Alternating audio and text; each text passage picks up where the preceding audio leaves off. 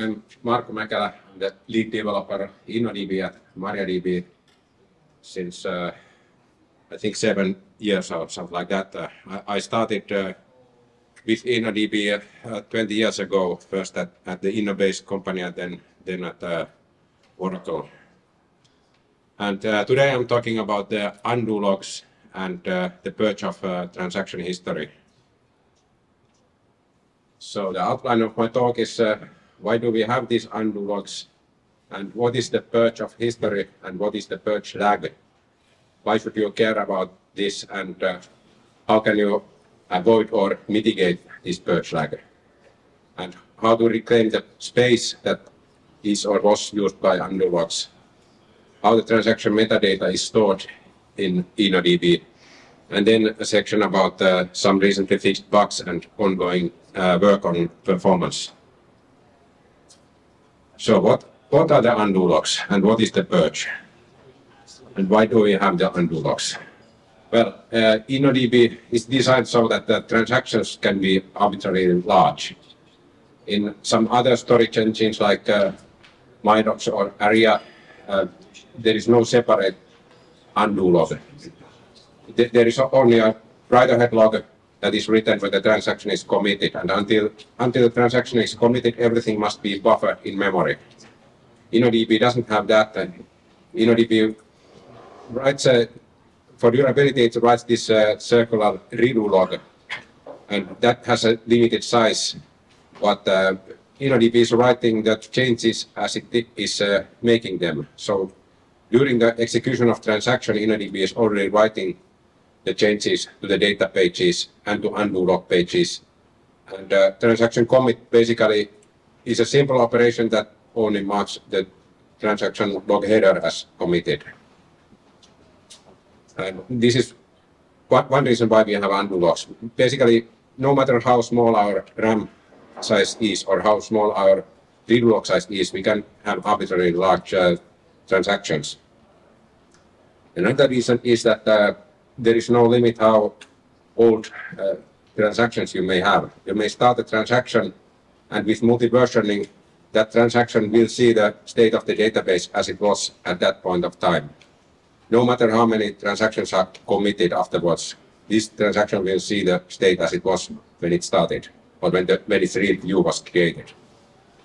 I had a previous talk a year ago about this, uh, how this MVCC works in detail so I will not go into that. And uh, yeah, obviously, if you need to roll back a transaction, then all the changes will need to be undone. And that is, of course, done by, by this undo log records. And this may be part of a crash recovery. If the server is killed before the transaction is committed, then the transaction will be recovered as uh, incomplete, and, and then uh, it, uh, its changes will be rolled back. And uh, similarly, if you have a two-phase commit, XA start, XA prepare, and server was killed before XA rollback or XA commit, then these transactions will remain in, in the XA prepare state until an explicit command to rollback or commit comes. Now, what is this purge? It's basically garbage collection of the undo logs of committed transactions. So yes, the transactions can be arbitrarily large, which means that uh, we have no limit on the size of the logs for a particular transaction. And uh, it also means that when the transaction is committed, it must not discard the logs immediately, because we may have those old reviews that need to be able to construct the state of the database when those reviews were created. So we must defer the cleanup of commit to this purge process. And uh, these uh, MVCC reads, they, they, must unsee these uh, changes done by the commit.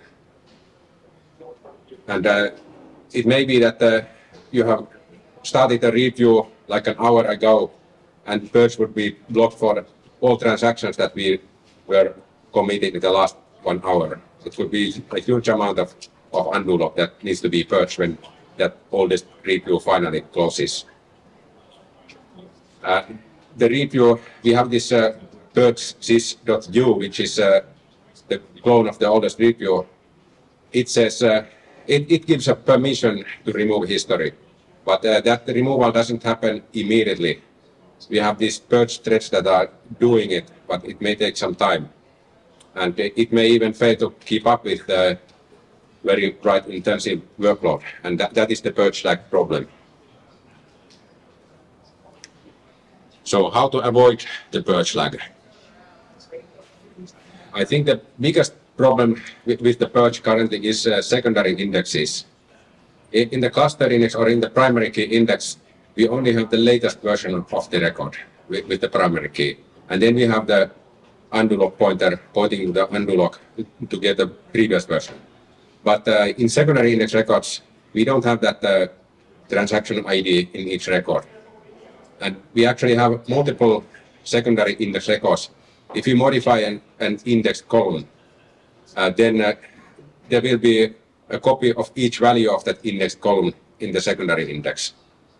So you will, will have a, you may have lots of records, extra records in the secondary index. And when you are accessing the secondary index, you, uh, the code must look up the primary key and check if, if this secondary index record actually exists in our view. And Purge needs to do the same. So this can be very expensive.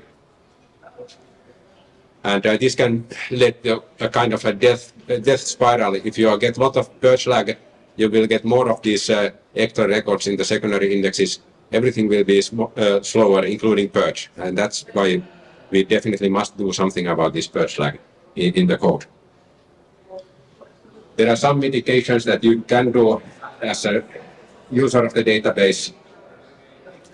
If instead of using the default uh, isolation level repeatable read. If you use read committed, then it will create a new read view for each statement instead of using one read view for the whole, whole uh, transaction. And if you use uh, read uncommitted, then it will not create a review at all, which means that uh, the purge will not be blocked by, by a read view because uh, you don't create, create one. So purge will allow, be allowed to proceed even though you are trying to read something. You don't really care if it's a if it's uh, consistent, you just need some, some data. And uh, another thing that as a user you can do, you can enable the bulk insert interface that was uh, introduced in MariaDB 10.6 for InnoDB. So if you, if you set unique checks uh, zero and set foreign key checks zero, then it will, uh, and if you are inserting into an empty table or partition, then the table will be exclusively locked and uh, we will only write one undo log record saying that uh, if this transaction is killed or, or, rolled back, then we truncate the table or partition. And this is, uh, of course, much nicer because for purge there is nothing to do. We only see this record, okay, if, if this will be rolled back, uh, then truncate. Well, purge is never executed on something that was rolled back, so purge will just ignore that record and uh, we will have fewer undo log records to deal with. This is uh, good when you are loading data into the database.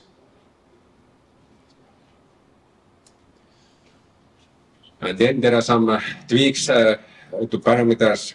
You could try them, but uh, I don't know if, if this is, could be that the, that the cure is worse than the disease if you enable this throttling of, of, of DML operations the idea of, of these parameters is, is, to slow down inserts, updates, and deletes if the purge is lagging behind. This was recently, this logic was recently improved uh, in MariaDB 10.6 uh, so that it doesn't unnecessarily slow down those operations. It used to be so that even though there is a old read view that prevents purge from running, it would still delay. But not now in MariaDB latest uh, 10.6 uh, and later versions, we do not do that, do that unnecessary delay. But still, this is just a workaround and a hack. It, it does help a bit uh, to reduce the purge, like the history list length growth, but uh, it's it's not a really acceptable or good solution. We need something on, on, on the code side. And then uh, one section of my talk is uh, how to reclaim the space that was used by log pages you probably know are used to know that the InnoDB system table space never shrinks. And by default, the undo log records are written to the InnoDB system table space. So if you had a burst in your workload that caused uh, lots of undo log records to be written, and you had a lot of purge lag in the history, and if those records were written to the system table space, then you used to be out of luck. But now, thanks to my Indian colleague, uh, Thiru Narayanan, something I don't remember his last name, we call him Thiru. He has done most of this uh, work here. Uh, he allows uh, uh, his changes uh, in MariaDB server 10.11 or enterprise server 10.6 allow you to change the number of InnoDB undo table spaces on an existing database. So that if, if you do a slow shutdown of the server and then you can change this InnoDB undo table spaces to move the undo logs from the system table space to these dedicated table spaces. That will prevent further growth of, of the system table space because of undo logs. But it's uh, still not the whole solution. One more thing in MariaDB server 11.2 was that uh, you can specify an auto shrink attribute to the system table space so that any free pages at the end of the system table space, uh, the system table space can be shrunk so that on, only the last allocated page in the system table space will remain. So this, this will allow the database to shrink. It's not, not the perfect thing because we don't know what is in the last page and we don't move pages around to make it shrink more, but uh, it's definitely a step into the right direction.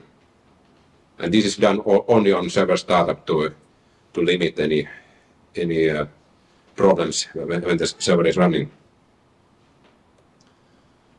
Then we have this uh, old mechanism, uh, InnoDB undo log truncate. I think it was added in uh, MySQL 5.7 and MariaDB 10.2. It works so that if you are using these dedicated undo table spaces, then uh, it will choose one of the undo table spaces for truncation, one that has exceeded the specified maximum size. And, uh, and then uh, it will block any writes to this undo table space. Transaction will use other undo table spaces except this one that we have chosen for truncation. And once uh, it has sort of cooled down, everything in this table space can be purged. Then we will truncate and rewrite this table space and move to the next one and, and allow writes to this one. In My, MySQL, there is a separate log file for, for this undo table space truncation in MariaDB, we are using uh, the InnoDB write-ahead logger. And this allows concurrent backups to work without problems and, and simplifies crash recovery.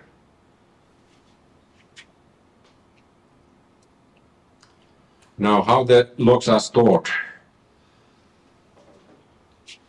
There is a, in the system table space, page number five is the transaction system page. It's on the left side of, of the slide it has a pointer, uh, it, it, has uh, 128 pointers to this rollback segment header pages. The first one is hard-coded to be in the system table space, and the rest can be moved to this dedicated undo table spaces. And when you are, this is basically for compatibility reason, we, we are uh, reserving the rollback segment zero. I, I didn't dare to change the file format there, just, just to play it safe. So basically, if you are using multiple undo table spaces, you are using these 127 rollback segments for your, for your undo logs. And in, in each uh, rollback segment header, you have an array of uh, pointers to the start of undo log for each transaction. You, you can have a limited number of uh, active, concurrently active transactions. I think it's uh, some hundreds of thousands, and it depends on the InnoDB page size. And once the transaction is committed, it will be moved from this, uh, the rollback segment header will, will be marked as committed, and then it will be moved uh, to the start of the history list, which is on, here on the right side of, of, uh, of the slide. So a committed transaction will just move to the purge list, the history list, and, and that's what, what the commit does. It's a very, very simple operation. So now I'm going to mention some decently fixed bugs and uh, some performance work. Uh, we were considering to enable this uh, undo log truncation by default because uh, we made uh, multiple undo uh, table spaces default in, in, in was it 10.11 or 11.0. At the same, same time, we were considering could we automatically truncate or by default truncate the undo logs. Uh, we decided against that because uh, it would cause some performance uh, reduction and it could be better for users to have control when they think that they can afford, afford some extra load on the server. But uh, we found some bugs when we were, we were, testing that. A couple of bugs were that uh, the purge was actually running too early. As a result of this, uh, a concurrent read could uh, get a crash when it's accessing an undo log record because the undo log page would already have been freed and reallocated for something else and the undo log record would have been overwritten by something else. And then uh, there were some regression due to fixes of these bugs. It's a rather complex code and uh, it, it, was quite tricky to understand all, all implications. So there was rather embarrassing bug that we didn't catch internally that uh, InnoDB would uh, kind of leak pages in the undo table space or in the system table space. It would never free the undo log pages that were actually already processed. That, that was fixed in, in a unscheduled release. And then, then we got a rather improbable hang, a deadlock. I added some checks against the redo log override uh, when doing, when doing this uh, undo truncation, but uh, I, I had forgotten that uh, when you are calling this redo log check function, you are not allowed to hold any latches that may block page writes. And that's why, why this check had to move, be moved uh, to a little bit upper level. It's, it's a bit inaccurate. If you are using a very small InnoDB redo log, you can theoretically, if you have bursty workload, you can you can have an unrecoverable server because of that. But no, normally the recommendation is, is to have a redo log uh, about the size of uh, one hour worth of uh. So you shouldn't normally run into that. And then there was a bug that, uh, an older bug, uh, that uh, if you enable the InnoDB undo-log truncation and the undo-logs are already logically empty, there is nothing to purge, then it would fail to truncate the undo table spaces. They were basically all full of garbage, but it would not truncate them. Then there was this one, also an older bug. It was quite interesting. I used the R, debugger for, for this. We use that for internal testing. So about one third of, of the InnoDB test runs are, are with uh, the R tool. It's uh, basically recording the whole execution uh, of the server that was killed and, and, the next server that was started and, and so on. So we get the whole trace from the start of, of the set, uh, test to the problem and we can debug uh, everything in, in, that trace. So we found, found a funny case where, where there was a crash or there was a restore of a backup and after that we got a crash when the server was starting up. And the reason was that uh, we had a recovered transaction that need to be rolled back and then uh, it was well, it was an empty transaction that was being committed because InnoDB works in that way, and uh, then it was uh, was uh, changing something, and, and and the purge subsystem was expecting the transaction counter uh, to to not change because there hadn't been any any real transactions, and the fix of this was uh, to simplify the rollback so that rollback will not uh, defer things. It will immediately run what, whatever purge would do.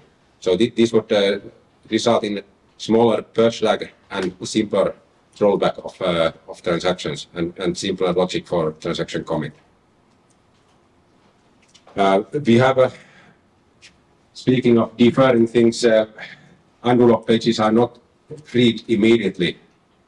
There is this uh, cached undo log state purpose of that is to allow uh, the next uh, transaction to use to reuse the same page. If you have a lot of small transactions, they can reuse the same undo log page, and uh, then when the purge removes the last uh, processes the last uh, of these transactions, th- then it can uh, finally free that page. This will give quite a bit of performance benefit because we, we don't have to wait for the uh, table space latch for the page allocation and so on. Oh. Uh, then there are some changes that uh, improve the performance with uh, uh, temporary tables. Let's see, I got some extra. Okay. Well, you can read, read the slide. I guess I'm running out of time soon.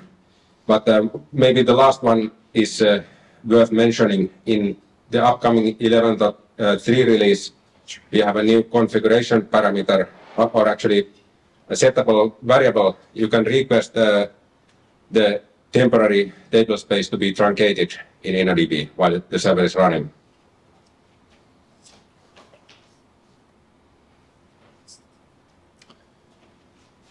Then uh, something that I have been working on recently, still working on it, is uh, reducing this purge lag.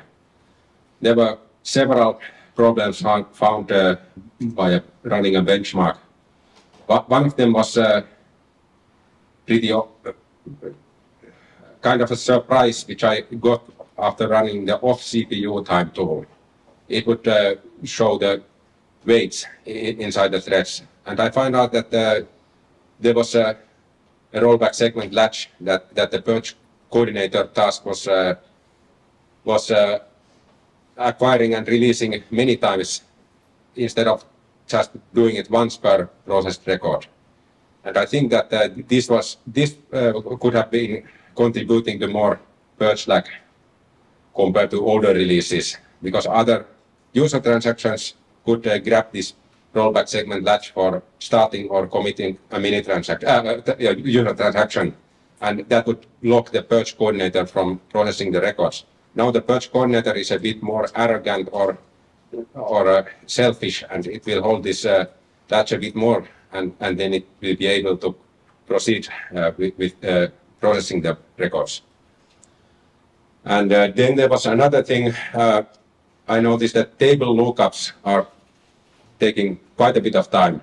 Basically, almost for every undo log record, we would uh, look up the table ID in the InnoDB dictionary cache and get the table for that table ID. And th- this was costing a lot of CPU and lots of waits. So I, what I did, uh, it hasn't been finished yet. I, I need to fix some things regarding to uh, DDL, but uh, what I did was that the purge coordinator will look up each table ID just once and then keep the reference to the table for the whole purge batch. And, and the purge worker threads will process a, a readily looked up table.